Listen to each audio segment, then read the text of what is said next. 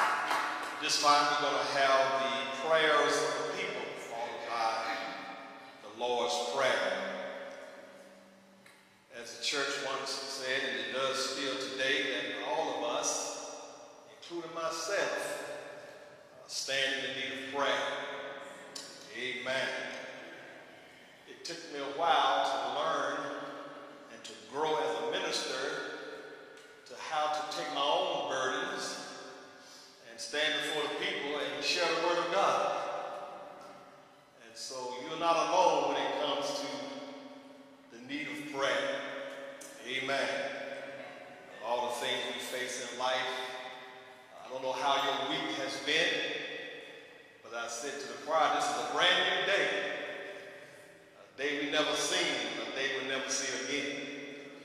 Don't know what holds for this evening, but this is a good time right now. It's a good moment to know that God has given us another opportunity to be a witness to his grace and his mercy.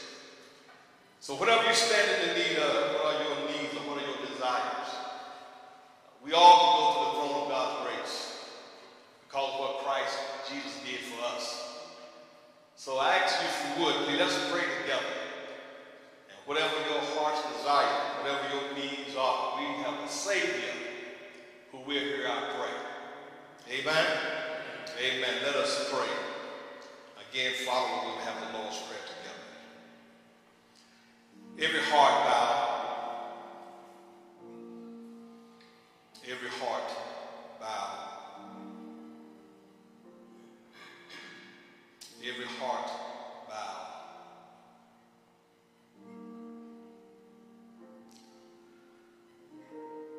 eternal God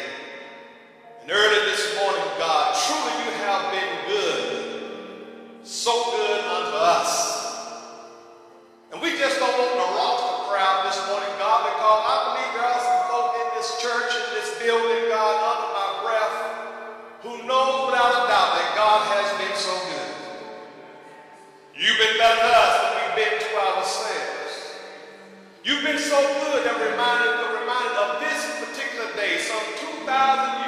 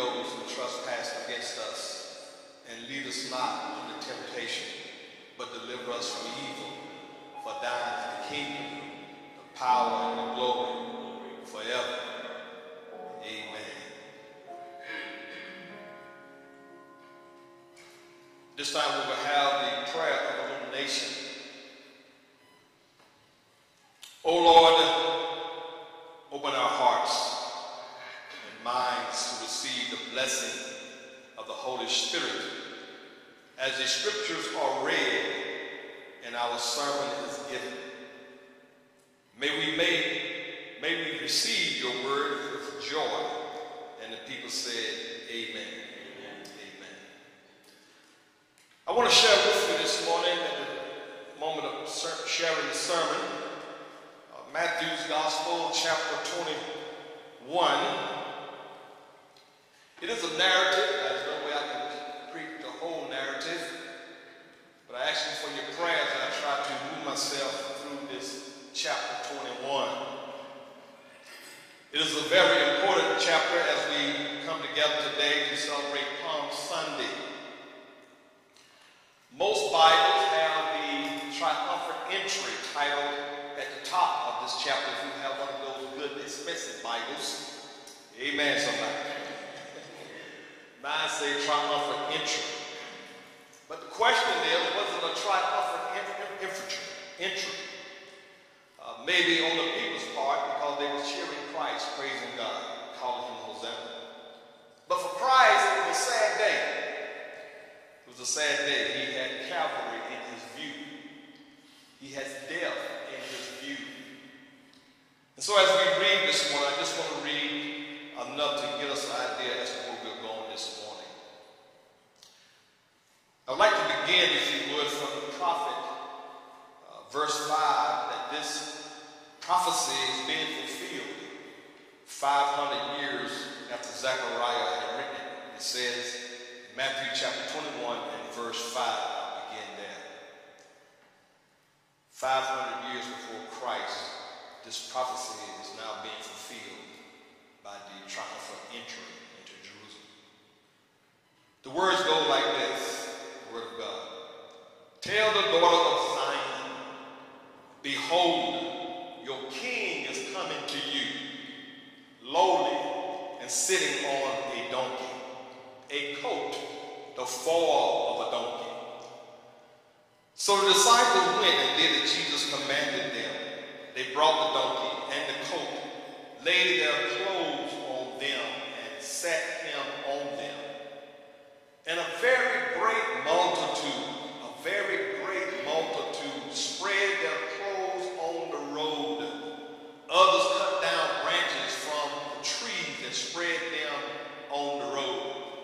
Luke Gospel, John Gospel, I believe, says palm branches. Then the multitude in verse 9 says, the multitudes who went before and those who followed cried, saying, cried out, saying, Hosanna to the Son of David. Blessed is he who comes in the name of the Lord. Hosanna in the highest. Going down to verse 12. Then Jesus went into the temple of God and drove out all those who brought, bought, and sold in the temple and overturned the tables of the money changers and the seats of those who sold doves. And he said to them, It is written, My house shall be called a house of prayer, but you have made it a den of thieves. Verse 14, then the blind, to him in the temple, and he healed them. But when the chief priests and the scribes saw the wonderful things that he did, and the children crying out in the temple and saying, Hosanna, the son of David, they were indignant and said to him, Do you hear what these are saying? And Jesus said to them, Yes. Have you never read it? Out of the mouth of babes, nursing infants, you have perfected praise. Word of God for the people of God. We now have the hymn of preparation, majesty, worship, His Majesty, the African American hymnal, number uh, 171.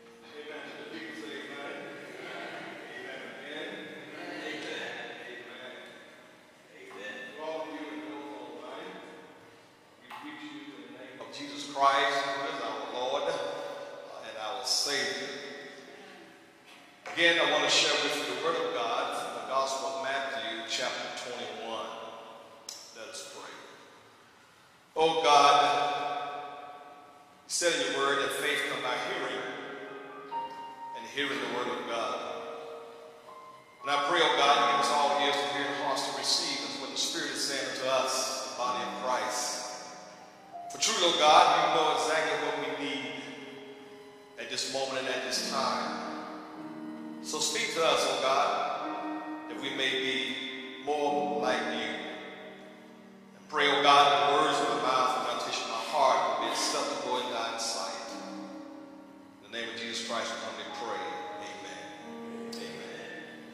You notice in your order of service uh, the title of the sermon.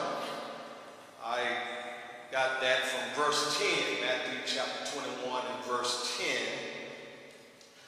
I may have said that in the time of sharing it, but hear what it says in verse 10. And when he had come to Jerusalem, when he had come into Jerusalem, all the city was moved, saying,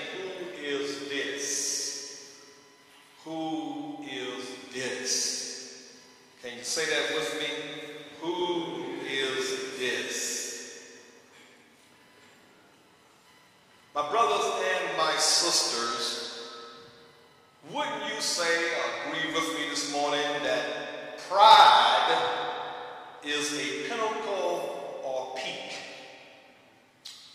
When you do something, when you do something so well, most people will praise you.